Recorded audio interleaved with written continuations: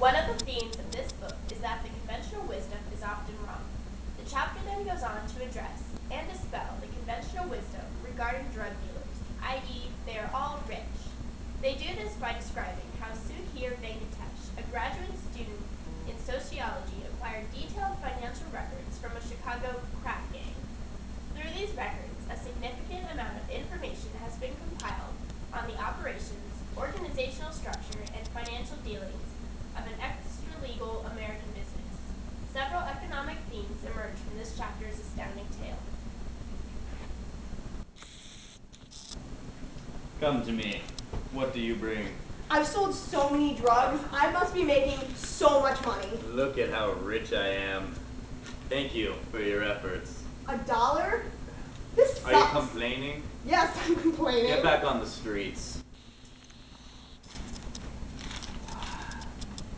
It feels good to be me.